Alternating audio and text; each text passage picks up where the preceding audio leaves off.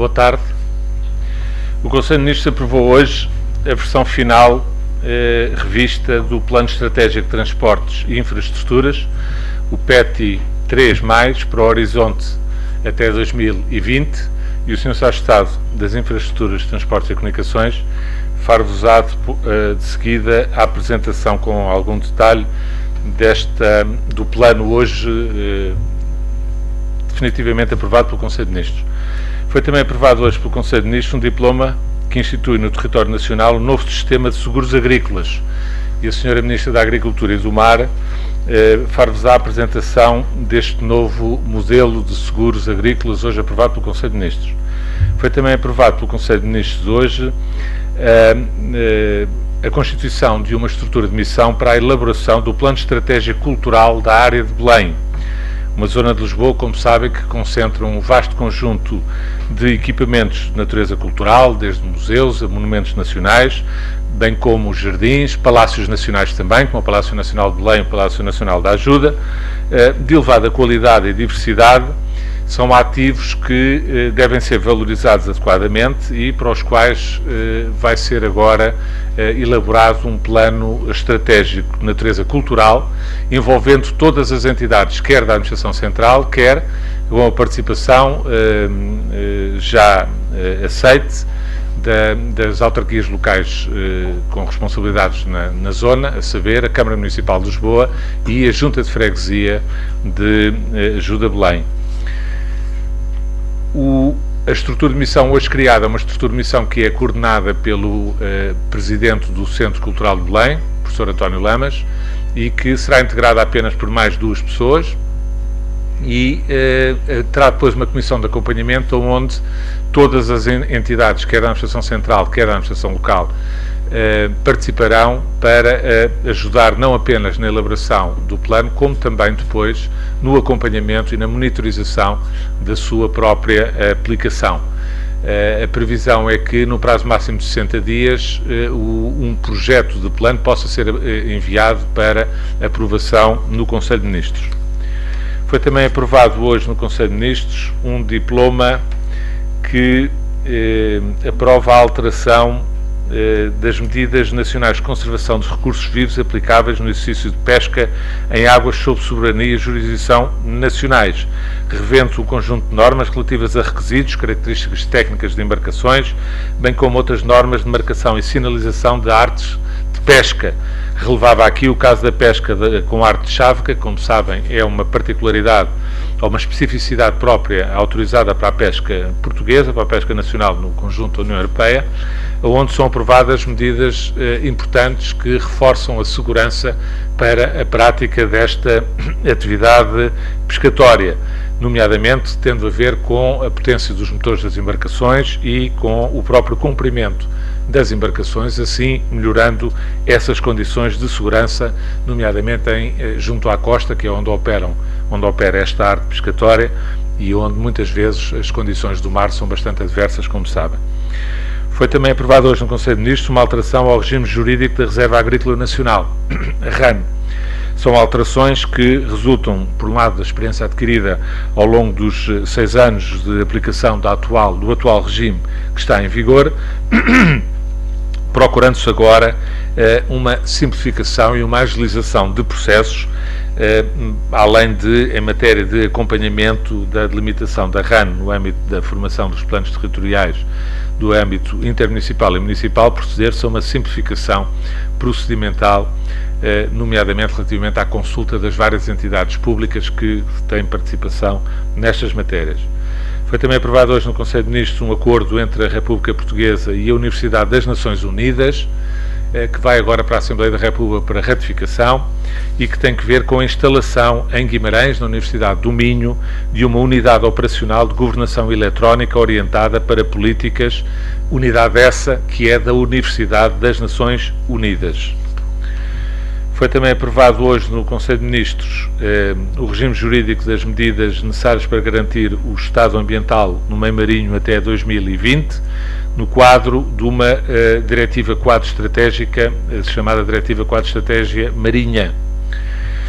foi ainda em termos de direito da União Europeia, foi aprovada a transposição de uma diretiva de execução da União Europeia sobre as regras comuns para as organizações de vistoria e de inspeção de navios, bem como um diploma que assegura a execução e garante o cumprimento do regulamento da União Europeia relativo ao controle de salmonelas e outros agentes zoológicos na, nos produtos de origem alimentar. Eh, por último, ainda nesta área da União Europeia, referir-vos que foi também aprovado uh, um diploma que transpõe as diretivas da União Europeia sobre o catálogo comum de variedades, espécies agrícolas e hortícolas. Uh, Trata-se de uma atualização, como sabem, todos os anos há uma atualização atendendo ao aparecimento de novas espécies que têm que ser depois integradas nos catálogos das espécies nacionais em cada país. Eh, o Conselho de Ministros aprovou também hoje uma alteração à orgânica da Inspeção-Geral da Agricultura, do Mar, do Ambiente e do Ordenamento do Território e da orgânica da Secretaria-Geral do Ministério do Ambiente, Ordenamento, Território e Energia, que tem que ver com eh, a orientação que decorre do, do, do Orçamento de Estado para a concentração da gestão de recursos, natureza, os recursos humanos, recursos financeiros e patrimoniais no âmbito das Secretarias-Gerais. Isto no âmbito da reforma mais alargada de Estado que vai sendo desenvolvida. Por último, referir-vos que foi aprovado hoje também no Conselho de Ministros a nomeação dos membros do Conselho de Administração do Hospital Distrital de Santarém, reconduzindo-se os atuais quatro membros que estão em funções e que, cujo mandato terminou uh, agora, são reconduzidos e é designado um novo membro que é o Dr. Pedro Caetano. Eu peço à Sra. Ministra da Agricultura e do Mar para vos fazer então a apresentação da decisão hoje tomada pelo Conselho de Ministros relativa ao novo modelo de sistema de seguros agrícolas. Muito obrigada, Sr. Ministro. Muito bom dia a todos. Uh, terão reparado que, de facto, há vários diplomas relacionados com o Ministério da Agricultura e do Mar, uh, nomeadamente aqueles relacionados com a pesca, uh, com as regras para a arte chávega, para as pequenas embarcações do cerco, também para o licenciamento de embarcações para o apoio à atividade da aquacultura offshore, mas esses aspectos, se tiverem alguma questão, naturalmente estou disponível, mas são aspectos bastante, bastante detalhados e técnicos e com uma grande importância para o setor. Penso que uh, politicamente uh, uh, é mais, eu diria, relevante hoje darmos foco à questão dos seguros agrícolas, do sistema de seguros agrícolas. eu lembro que esta era uma matéria que penalizava muito o Ministério na parte das dívidas às seguradoras. O sistema que tínhamos era um sistema antigo, oneroso para os agricultores, oneroso para o Orçamento de Estado, onde gastávamos em média 14 milhões de euros por ano uh, e tínhamos dívidas acumuladas de várias dezenas de milhões de euros. Aquilo que procurámos fazer, por um lado, foi estancar o sistema que existia e que, além do mais, era muito pouco atrativo para os agricultores uh, e tinha uh, elegibilidades e coberturas que não eram as melhores. Uh, estacámos com esse uh, modelo, parámos o aumento da dívida às seguradoras, acertámos um plano de pagamento dessa dívida e, portanto, um, pusemos também ordem na casa nessa matéria e depois desenvolvemos em conjunto uh, com uh, Bruxelas a possibilidade de criar um novo sistema de seguros mais atrativo para os agricultores, que permitisse ter mais gente a aderir a esse, a esse modelo, que permitisse ter mais coberturas com uma apólice uh, comum a todas as áreas e depois com a possibilidade de haver apólices específicas por setores. Começámos com o setor da vinha, com as frutas e hortícolas e agora com o PDR 2020 podemos estender a todas as áreas e ter o financiamento de fundos comunitários. Isto significa que, do ponto de vista da despesa do Orçamento de Estado, reduzimos em cerca de 94% aquilo que estava normalmente uh, orçamentado para os seguros. Uh, passamos de uma média de 14 milhões de euros para 830 mil euros uh, de gasto de dinheiro público nacional por ano e passamos a poder utilizar os fundos comunitários para ajudar a financiar uh, este novo modelo que, uh, ao mesmo tempo, se torna melhor para os agricultores, com mais coberturas, melhores para as seguradoras, porque têm a garantia de pagamento atempado uh, das verbas em causa, e melhor para o Orçamento de Estado, que reduz muito a sua despesa nesta matéria. É um sistema que, como referi, já teve início em alguns setores e que agora se estenderá, e com este diploma se criam as condições para estender a todas as áreas. Muito obrigada. Eu peço ao Sr. Estado das Infraestruturas e Transportes para vos fazer então a apresentação do Plano Estratégico de Transportes e Infraestruturas. Muito obrigado, Sr. Ministro. Bom dia a todos. Como sabem, eh, o Governo tinha aprovado em abril de 2014, há pouco mais de um ano, na generalidade, o Plano Estratégico de Transportes e Infraestruturas, o PETI 3+.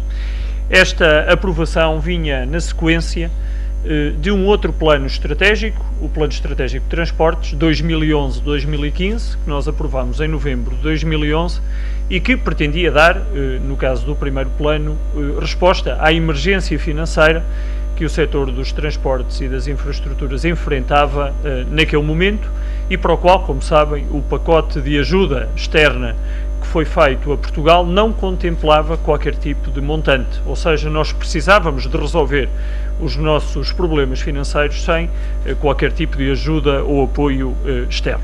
Queria ainda recordar que este governo não gastou um euro de dinheiros públicos na elaboração de dois planos estratégicos, ao contrário do que aconteceu noutros casos, outros governos encomendaram planos, gastaram dinheiro e os planos nunca viram a luz do dia. Nós fizemos dois planos com recursos internos sem gastar um euro de dinheiros públicos. Antes desta aprovação, em abril de 2014, na generalidade, nós fizemos, eh, eh, através da criação do Grupo de Trabalho para as Infraestruturas, eh, adotámos uma metodologia diferente na discussão sobre as obras que são importantes para o futuro do país.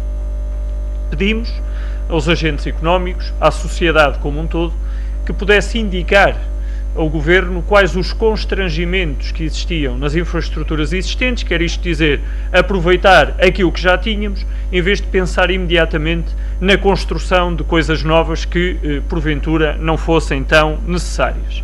E essa discussão, que envolveu, como eu disse, entidades públicas, mas também agentes económicos e toda a sociedade, deu origem a um relatório que foi conhecido em janeiro de 2014, que foi entregue ao Governo e que o Governo, no próprio dia em que recebeu o relatório, colocou em consulta e em discussão pública.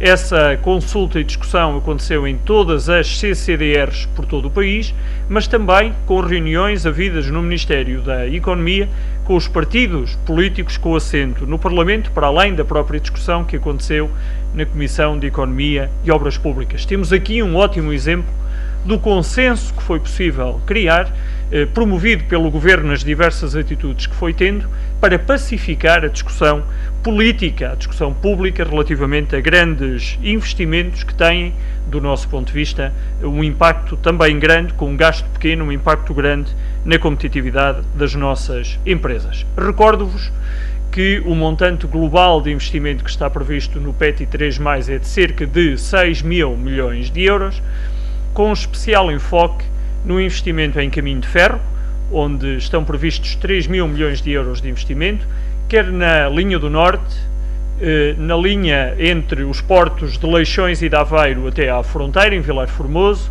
os portos de Lisboa e, sobretudo, de Sines até à fronteira, a caminho de eh, Madrid, para além de outras linhas, como a linha do Oeste, a linha do Douro, a linha da Beira Baixa e também a linha eh, do Algarve, onde eh, nós pretendemos, de facto, que a competitividade no transporte de passageiros e mercadorias seja efetiva com um custo de investimento bastante mais baixo que outros projetos que haviam sido apresentados recentemente e que esses sim trariam eh, grandes problemas do ponto de vista orçamental ao país. Também no setor marítimo portuário, aquilo que se pretende é investir mais em leixões, aumentando a sua capacidade para o dobro, também está previsto o investimento na zona de Lisboa e aumento de capacidade em Sines, o porto de transshipment por natureza, no sentido de dotar o sistema marítimo portuário português de condições de excelência que continuem a tornar este setor um dos maiores contribuintes para a competitividade que queremos dar à economia do mar e que também tem sido liderado do ponto de vista de estratégia pela senhora Ministra da Agricultura e do Mar. Os objetivos globais uh, do PETI, como sabem, uh, começam por dar, tentar dar competitividade à nossa economia, através da redução do custo do transporte das mercadorias e dotar Portugal de um conjunto de infraestruturas, quer de transporte, quer de apoio logístico de excelência.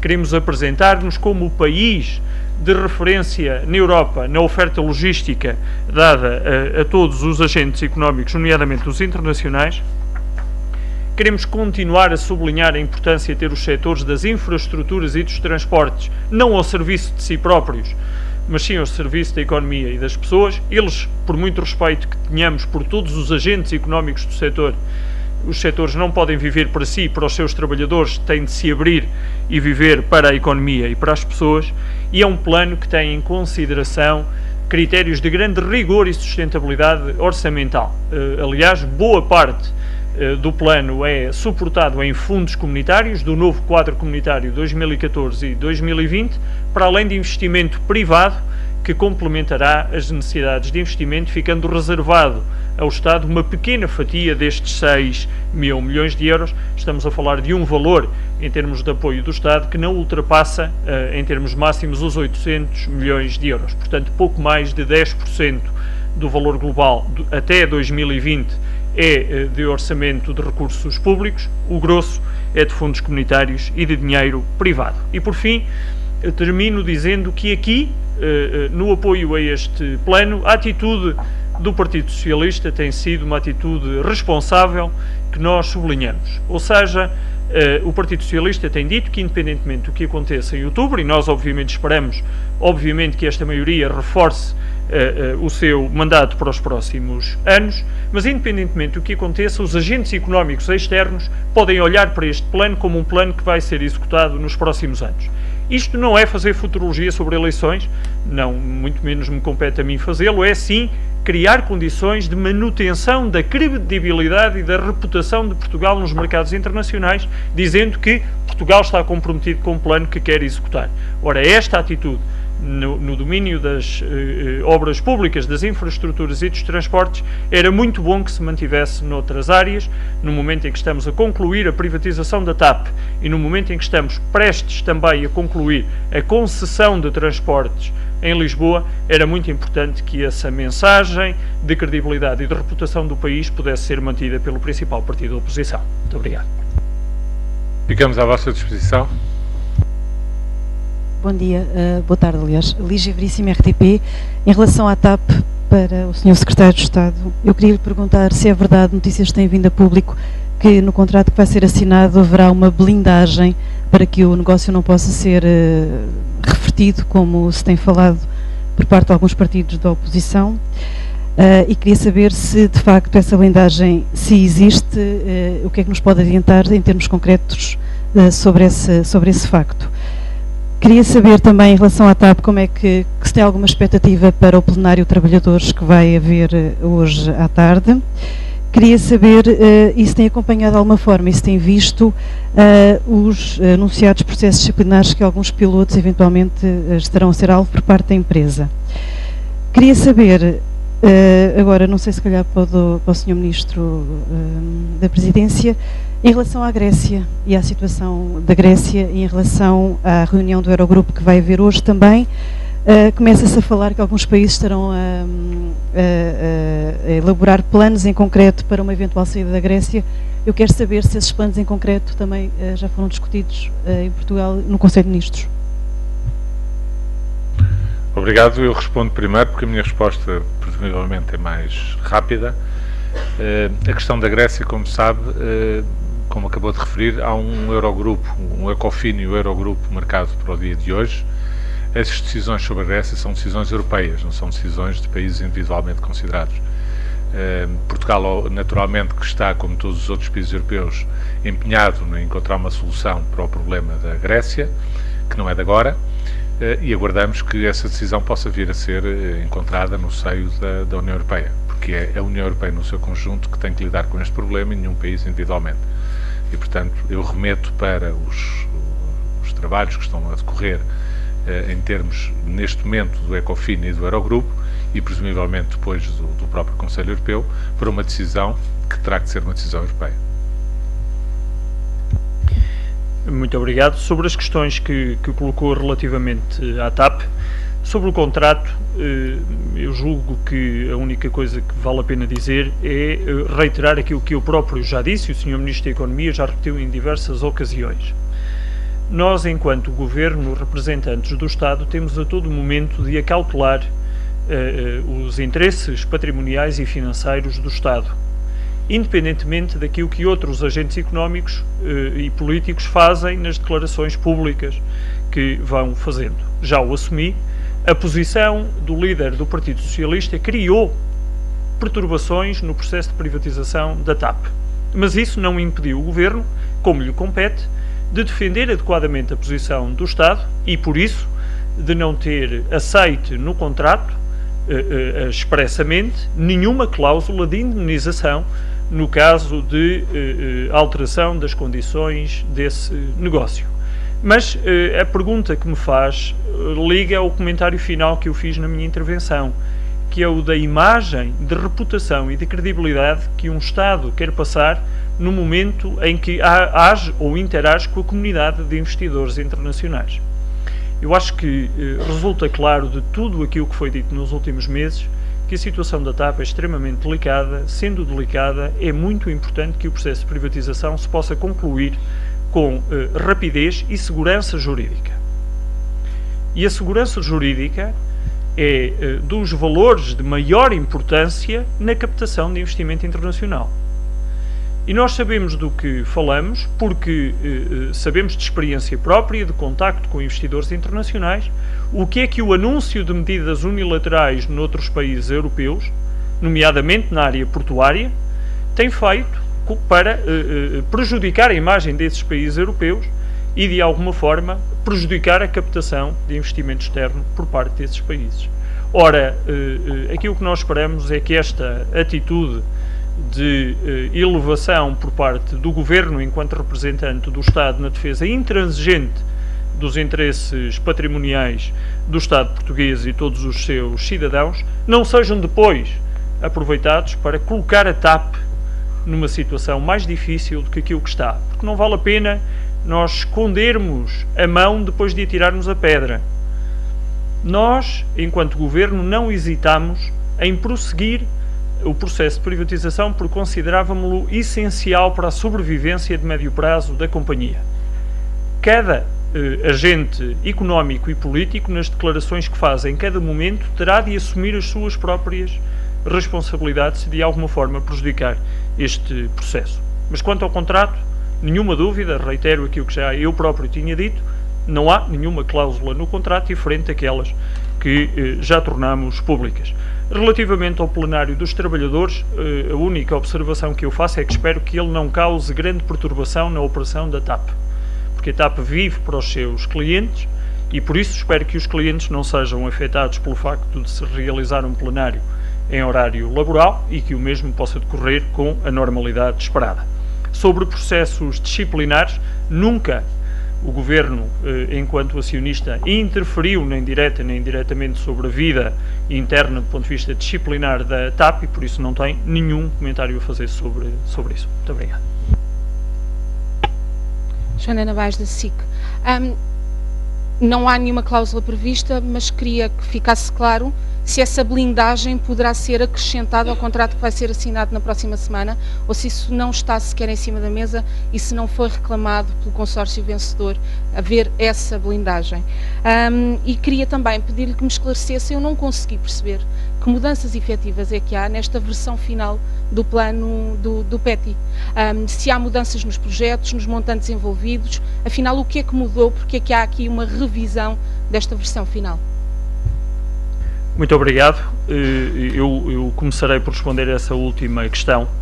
Eu referi que em abril de 2014 foi feita uma aprovação na generalidade, mas para que o plano fosse depois finalmente aprovado em definitivo, havia necessidade de fazer, decorre das normas, quer internas, quer europeias, uma avaliação ambiental estratégica, ou seja, verificar se o plano cumpre todas as regras do ponto de vista eh, ambiental no, na sua concepção uh, de, de, política de investimento e de desenvolvimento do setor das infraestruturas e dos transportes, isto sem prejuízo da avaliação ambiental em específico que cada projeto terá de ter se ainda não a, não a realizou.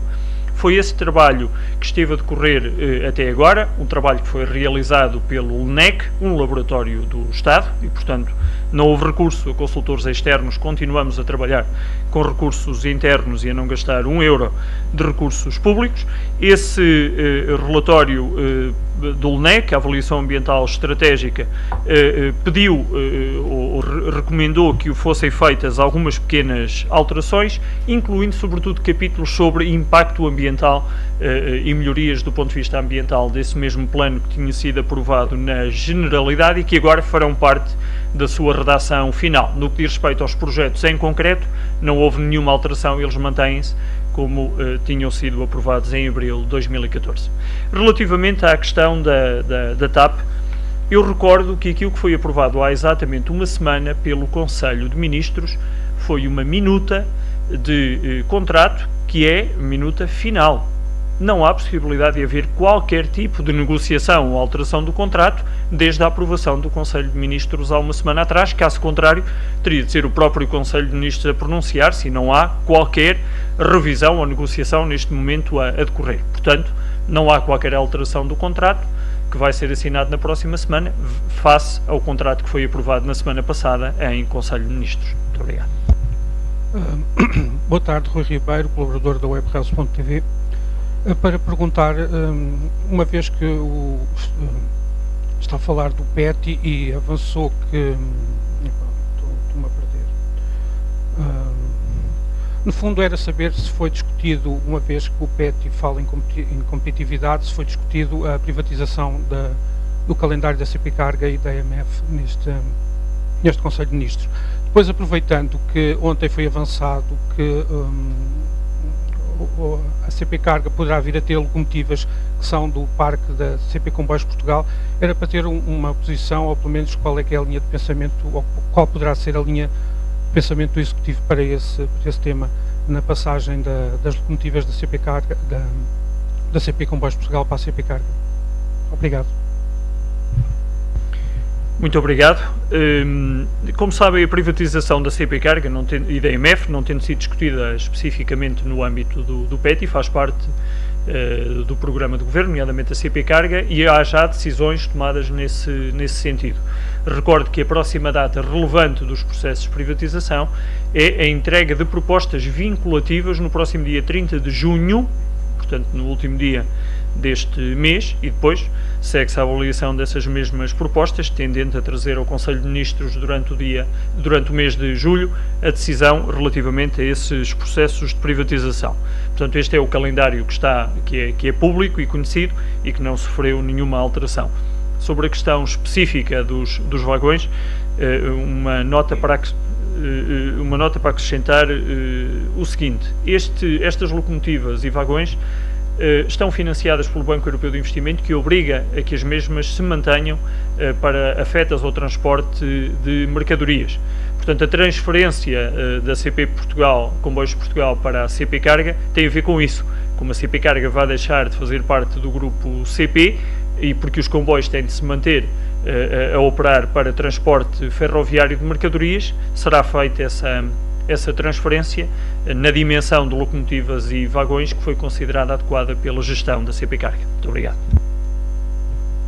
Uh, Hugo Matias, boa tarde, Hugo Matias TV. Uh, ah, aqui, uh, Sr. Ministro, perguntava-lhe, uh, Sr. Ministro Marquetes, perguntava-lhe ainda a propósito da Grécia se uh, foi discutido no Conselho Ministros ou se, mesmo não tendo sido discutido exatamente no Conselho Ministros, se Portugal pondera de alguma forma fazer um recuo face ao que já foi anunciado do pagamento antecipado da, do reembolso da dívida ao FMI. A propósito desta, desta questão, destes possíveis efeitos negativos da, de uma, do, caso da Grécia. Eh, eu não tenho a certeza se percebo exatamente a sua pergunta, mas uh, por aquilo que, que, que eu percebo, eu, eu, reiterava apenas que uh, qualquer decisão sobre a Grécia terá que ser uma decisão europeia, uma decisão conjunta. Não faz sentido absolutamente nenhum haver posições individualizadas do país, peço desculpa, o que eu lhe perguntava Sim. era sobre o pagamento, de, o reembolso antecipado que Portugal pretende fazer, ao, o Estado português pretende fazer ao FMI, Uh, eh, se pondera. Uh, ah, o, o, reembolso português ao FMI? Ao, FMI, exatamente. Se, se, se, se, o, se o governo pondera uh, recuar neste, neste pagamento antecipado? Não, essa questão não é uma questão que esteja sequer a ser equacionada pelo governo. É óbvio que o governo estará, como penso que os jornalistas e todos, todo, todos os cidadãos, estão atentos a quaisquer turbulências que aconteçam ou não decorrentes deste processo grego. Mas só lidaremos com essas turbulências se elas vierem a acontecer e quando elas acontecerem. não vamos antecipar qualquer tipo de cenário relativamente a essa matéria. As decisões que o Estado português tem tomado relativamente à, à, à dívida nacional e eh, eh, decorre de, todo o trabalho que tem vindo a ser feito pelo Governo, no sentido de acautelar devidamente, do ponto de vista financeiro, quer a estabilidade das contas públicas, quer a possibilidade de antecipação para melhorar eh, o, o, a dívida e o, o, esforço financeiro que os contribuintes portugueses terão que fazer para pagar essa mesma dívida.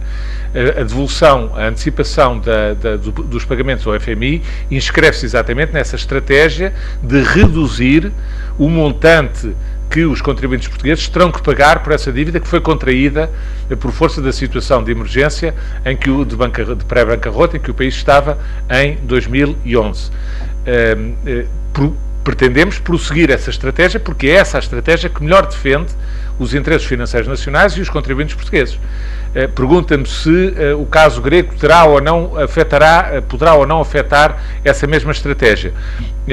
neste momento não afeta rigorosamente nada e eu espero que não venha a afetar, obviamente.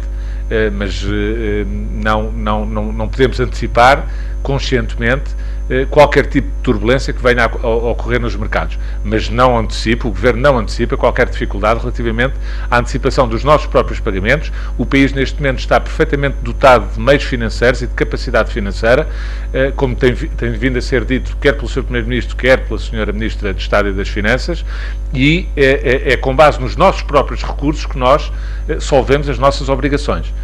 E não estamos a contar com interferências estranhas a, a esse processo dia, Cátia Simões, do Económico. Tenho três questões. A primeira é saber se o, para o secretário, secretário de Estado, Sérgio Monteiro, primeira é saber se o plano de ajustamento da TAP uh, já foi discutido com o Governo e se nos pode dar algum, algum detalhe do que é que lá está. Depois saber também se comenta a questão do Tribunal de Contas ter algumas dúvidas sobre a subconcessão do metro do Porto, foi hoje noticiado pelo Jornal de Negócios, uh, e saber também se a questão da, um, uh, do subsídio das rendas foi discutido em Conselho de Ministros e porque é que ainda não foi aprovado? Obrigada. Posso começar eu por esta resposta à última questão. Uh, eu acho que essa é uma pergunta que tenho que fazer ao próprio jornal que noticiou que o Conselho de Ministros hoje ia decidir essa matéria. Pelos vistos, o jornal é que estava errado. Esta matéria é uma matéria que não é nova, como sabem, eh, decorre da aprovação da, da, nova Lei das Rendas em 2012. Há um período de carência de 5 anos, portanto até 2017, mas o Governo assumiu o compromisso de, eh, eh, antes do final da legislatura, criar as condições legais adequadas para que houvesse uma salvaguarda como deve ser para os eh, arrendatários mais vulneráveis, nomeadamente as pessoas com mais de 65 anos, as pessoas com situação económica eh, eh, de dificuldade, bem como as pessoas com deficiências superiores a 60%. É aquilo que está na lei, é aquilo que o Governo tem vindo a trabalhar para antecipadamente porque a questão só se coloca a partir de 2017, para antecipadamente resolver. É um trabalho que o Governo tem vindo a fazer ao longo dos últimos meses, não é um trabalho de agora.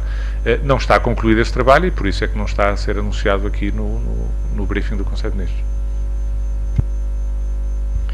Sobre as duas questões que me, que me colocou, relativamente ao plano de ajustamento da TAP, eh, ainda não há uma proposta revista por parte do Conselho de Administração. Como sabem, uma parte eh, do valor eh, que potencialmente pode ser encaixado pelo Estado decorrente da privatização depende da performance da empresa durante o ano 2015. Nós pedimos assim ao Conselho de Administração da empresa que pudesse rever esse plano de ajustamento, tendo em conta a decisão que havia sido tomada em Conselho de Ministros e esta relação direta entre uma melhor performance representar mais dinheiro para o Estado e, portanto, para todos os portugueses, e estamos a aguardar que essa proposta nos seja feita. Relativamente ao contrato da, da, da Metro do Porto, queria uh, aproveitar e fazer duas observações. A primeira é para sublinhar que o Governo apoiou a decisão do Conselho de Administração da Metro do Porto para todas as alterações eh, que havia a fazer no contrato serem feitas no contrato e não posteriormente.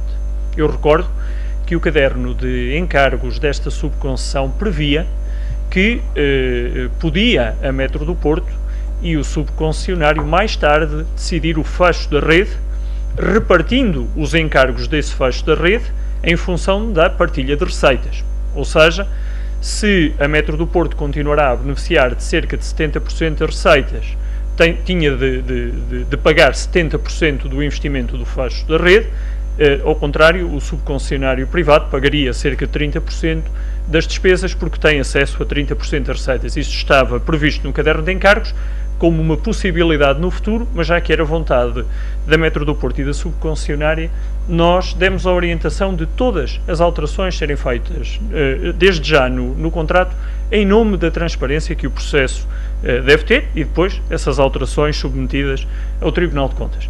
Há depois uma segunda alteração que também eh, nós pedimos que fosse desde já vertida no contrato, demos essa orientação, que foi o facto de eh, estar também previsto no caderno de encargos que podia ser contratado a partir de 2016 mais quilómetros de produção, isto é, mais número de quilómetros para melhor serviço aos eh, cidadãos da área metropolitana do Porto, eh, a vontade do Metro do Porto. Isto é, era uma decisão unilateral do Metro do Porto contratar mais quilómetros. Ora, porque a Metro do Porto eh, entendia que esse era um fator positivo para a área metropolitana e antecipávamos nós também os autarcas da área metropolitana antecipariam eh, esse facto, mais quilómetros significa mais serviço. Eh, a Metro do Porto entendeu desde já estabelecer as regras para que essa contratação aconteça. E resolveu incluir no contrato também aqueles que eram serviços ocasionais, para dar mais certeza às relações contratuais. Por exemplo, na noite de São João, a Metro do Porto reforçava o serviço e pagava à parte esse serviço como sendo ocasional. Ora, agora fica dentro do contrato. A mesma coisa quando há jogos no Estádio do Dragão, eh, também fazia serviços ocasionais e agora passam a estar dentro deste contrato, nos termos que o contrato fixa. Esta orientação que demos, demos-la em nome da transparência eh, eh deste processo e, por isso, o contrato tem toda a, a, negociação que foi feita com a subconcessionária. O Tribunal de Contas está a apreciar o, o, o contrato e eh, eh, já recebeu as respostas aos pedidos de esclarecimento que foram feitos há cerca de uma semana.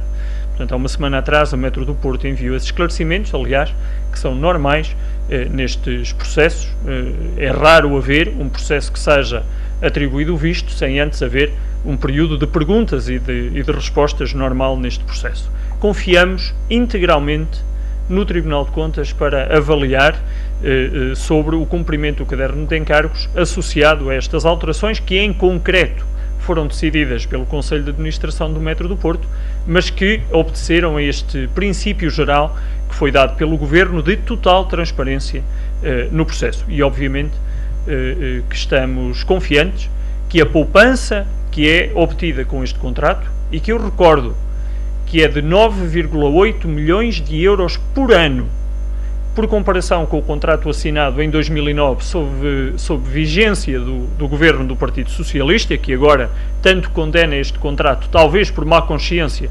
relativamente aos encargos que eh, eh aceitou entre 2009 e 2014, que, eh, eh, dizia eu, confiamos que o Tribunal de Contas faça o seu juízo com total tranquilidade e independência e, portanto, imune uh, às pressões que têm existido ultimo, nas últimas semanas relativamente a este processo. Muito obrigado. Eh, boa tarde, Maria João Babo, do Jornal de Negócios. E eu queria também fazer duas questões ao Sr. Secretário de Estado dos Transportes. Uma sobre o PETIS, se é possível um ano depois ter um, um ponto de situação do número de projetos que estão já a avançar e o valor do investimento que também já está a ser uh, posto em marcha. E em relação ao concurso da Carris e do Metro de Lisboa, perguntar-lhe se já teve informação do júri se todas as cinco propostas foram aceitas no concurso e se já recebeu algum relatório preliminar. Eu peço desculpa só antes do Sr. Sá Estado responder, perguntava se alguma senhora jornalista ou senhor jornalista tem alguma pergunta para fazer à senhora Ministra da Agricultura, porque por compromissos, se não for o caso, libertávamos a senhora Ministra. Não sendo o caso, Sr. Sá Estado. Muito obrigado. Hum, há de facto um conjunto de projetos que faziam parte do PET 3 que estão já em execução, eles já tinham avaliação ambiental uh, uh, efetuada e, portanto, estavam prontos a, a avançar. Uh, Dou-lhe uh, dois exemplos, um no setor marítimo-portuário, o terminal de cruzeiros uh, de Leixões está praticamente concluído, terá aliás a sua inauguração para ser realizada dentro em pouco, e o investimento feito no caminho de ferro na linha do Douro, nomeadamente no troço entre Caída e Marco de Canaveses, uma, uma promessa feita tantas vezes por governos anteriores e finalmente concretizada por quem nunca prometeu antes ter dinheiro para cumprir, que está também já em, eh, eh, em execução e que eh, contempla eh, exatamente o investimento na melhoria eh, da circulação de pessoas e bens. O valor global de projetos do PETI 3 mais atualmente em execução, eu não o tenho aqui, aqui comigo, mas o que é útil a pergunta, e nós no Ministério da Economia faremos uma nota para, para dar essa informação aos senhores jornalistas, para que depois possam, através de vós, chegar a informação ao público quantos projetos e qual o valor de investimento que está neste momento em execução. Relativamente ao concurso da Carris e do Metro de Lisboa, eu já tenho de facto informação do Conselho de Administração da, da empresa, mas eh, por uma questão de respeito para com o processo, essa informação tem de ser conhecida através da disponibilização na plataforma eletrónica do relatório preliminar. Isso acontecerá amanhã de manhã, a disponibilização desse relatório eh, preliminar, com todas as avaliações feitas às, às candidaturas. A única coisa que eu posso antecipar é que, de facto, o resultado do ponto de vista financeiro é muito eh, eh, vantajoso para ambas as empresas, quer para a Carris, quer para o Metro de Lisboa. Eu recordo que, do ponto de vista de qualidade do serviço, o próprio concurso já assegurava, porque as obrigações de serviço são exatamente iguais às obrigações de serviço que neste momento estão a ser executadas pelas empresas e também estava eh, como obrigação que não houvesse qualquer aumento extraordinário de bilhetes decorrente deste concurso, ou seja, os bilhetes só podem aumentar a taxa de inflação em cada ano, não pode haver aumentos extraordinários de bilhetes, isto é muito importante para as pessoas que todos os dias utilizam transporte público, escusam a oposição ou, ou, ou, os sindicatos de insistir nesta mensagem que não é verdadeira, os bilhetes não sofrerão qualquer aumento extraordinário, é, é, é, está proibido pelas regras do, eh, do concurso, mas do ponto de vista financeiro, como disse, é muito vantajoso para, para o Estado, através das empresas, eh, confirma a eliminação integral das indenizações compensatórias em 2015, não há dinheiro dos contribuintes nas empresas, nem no Porto, nem em Lisboa a partir de 2015, ou seja, o compromisso que tínhamos assumido em 2011, a quando da aprovação do PET, está cumprido dentro da legislatura, como sempre dissemos, que era o nosso objetivo. Muito obrigado. Não havendo nenhuma questão, muito obrigado, bom almoço, boa tarde a todos.